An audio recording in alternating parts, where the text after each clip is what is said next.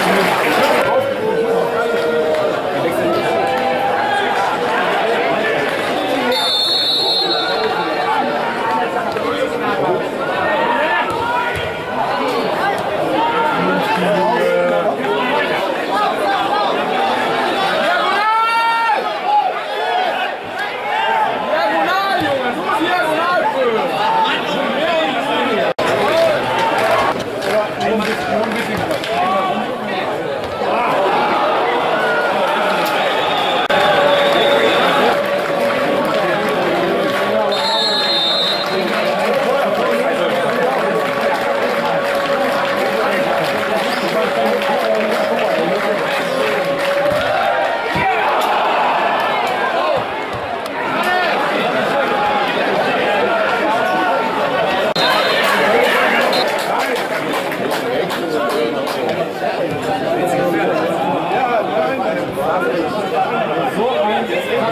Wir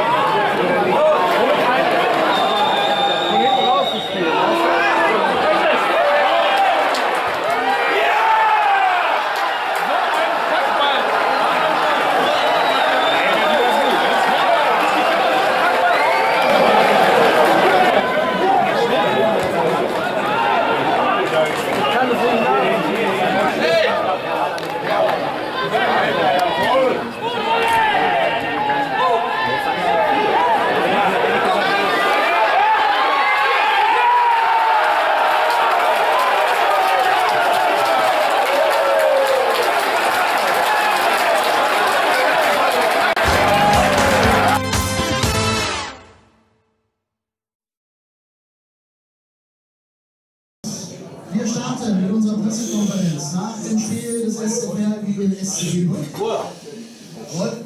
Vierter Spieltag, Regionalliga West, 1 zu 1 ist es ausgegangen. Herzliche Grüße auch rüber in den VIP-Raum. Ja, 1-1 Endstand. Wir haben noch ein anderes Spiel heute. Dortmund gegen Rot-Weiß Oberhausen. Dortmund hat das Ganze 1-0 gewonnen. Das bedeutet jetzt, wenn ihr hinter uns schon mal in den Videotext geschaut habt, Dortmund erster, Fern zweiter, Wiedenbrück dritter.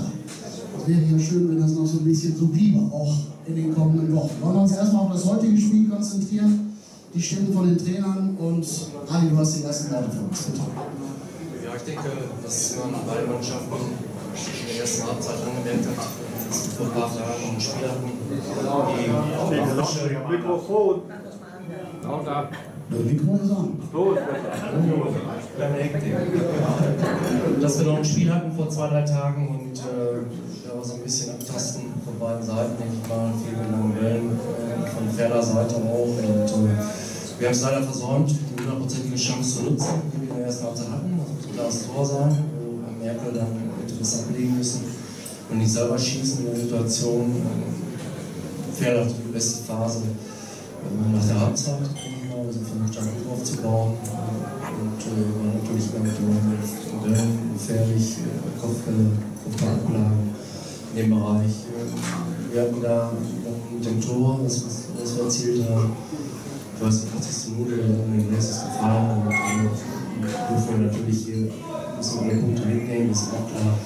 Aber das ist halt Fußball, das gibt es immer wieder. Ganz letztes Jahr waren wir hier, da haben wir auch äh, in der letzten noch ein Tor gemacht. Äh, das sind total und wahrscheinlich ist das immer so, dass hier in den letzten Minuten die Tore jetzt fallen. Bei uns äh, ist das Pferd jetzt ja auch gelungen, Sieg dann 1-0 und wir hätten gerne drei Punkte mitgenommen, aber äh, man darf auch nicht zu gierig sein und äh, man äh, muss halt mit der Gruppe leben und äh, das ist okay. Danke. Dankeschön. Ja, Andreas Kolombeck, eben schon ganz kurz gesagt, so wirklich zufrieden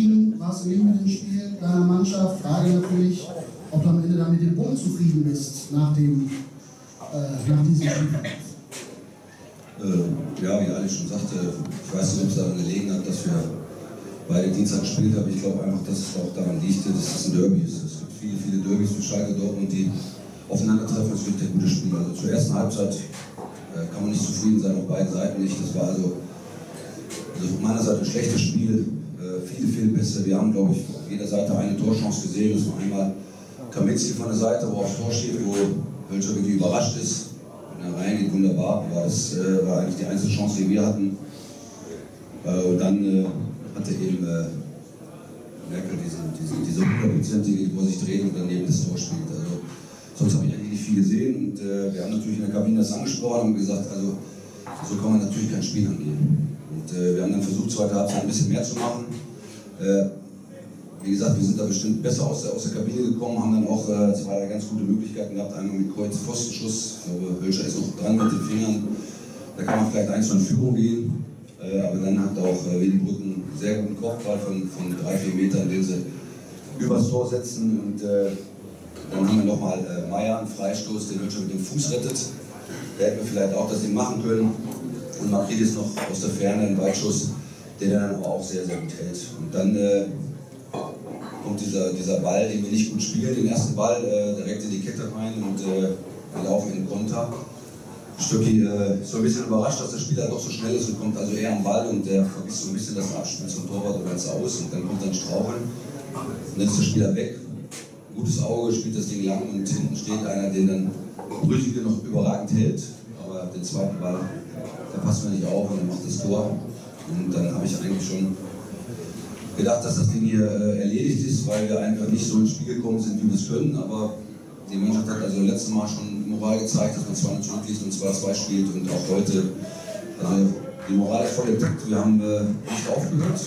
Und dann kommt eben so ein Ding, der runterfällt und da muss ich auch Fabi Kompliment machen, dass er eben nicht blind auf Tor hämmert oder irgendein Tor anschießt, sondern nochmal quer spielt auf Meier und der auch nicht die Nerven verliert und nochmal quer spielt. Und dann, dann, äh, nur das Ding ins leere Tor schießen. Also ich glaube, dass dass es bis zum 1-0 ein typisches 0-0-Spiel war.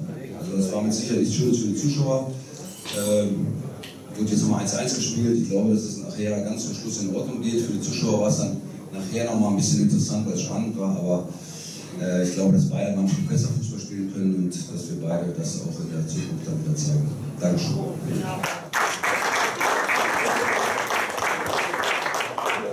Danke, Bruno. Wir weisen noch hin auf die nächsten Spiele. Mittwoch ist Westfalen-Pokal in Kahn Marien Born. Morgen in einer Woche auswärts in Bonn, Regionalliga und morgen in zwei Wochen Heimspiel gegen Wuppertal. Samstag 14 Uhr. Vielen Dank. Ja, liebe Wiedenbrücker, kommt gut nach Hause, so weit ist es ja nicht. Viel Glück bei der Mannschaft auch für die nächsten Wochen. Dankeschön. Schönen Abend. Trinkt euch noch ein Bierchen. Aber uns verdient. Schönen Abend. Schönes Wochenende. Ciao.